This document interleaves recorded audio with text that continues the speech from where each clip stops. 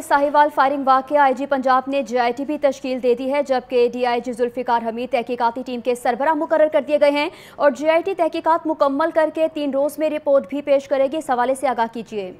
ہاں، بالکل، اب سے کچھ دیر پہلے جو ہے آئی جی پنجاب امجد جو سلیمی نے ساہیوال واقعہ کی تحقیقات کے لیے ایک اعلیٰ سطحی جی آئی ٹی تشکیل دی ہے، جس کے سربراہ ڈی اے جی ذوالفقار حمید کو مقرر کیا گیا ہے۔ جبکہ ان کے ساتھ ساتھ اس میں دیگر security agencies I S I I B اور دیگر جو فورسز ہیں، ان کے جو آفیسرز ہیں، ان کو بھی شامل کیا گیا ہے۔ یہ جی آئی ٹی جو ہے، یہ تین روز میں اپنی رپورٹ مکمل کر کے آئی جی پنجاب کو دے گی اور اس رپورٹ کے تناظر میں فیصلہ کیا جائے گا کہ آیا اس واقعے میں، اس پولیس مقابلے میں کتنی حقیقت ہے۔ تاہم، ابھی جے آئی ٹی نے جو ہے پراپر باقاعدہ طور پر اپنے کام کا آغاز نہیں کیا۔ یہ ابھی جو ہے آئی جی پنجاب کے ترجمان کی جانب سے یہ بیان جو ہے، یہ جاری کیا گیا ہے کہ آئی جی پنجاب نے اس واقعے کی تحقیقات کے لیے ایک اعلیٰ سطحی جی آئی ٹی جو ہے، وہ ڈی آئی جی ذوالفقار حمید کی سربراہی میں مقرر کر دی ہے۔ جی۔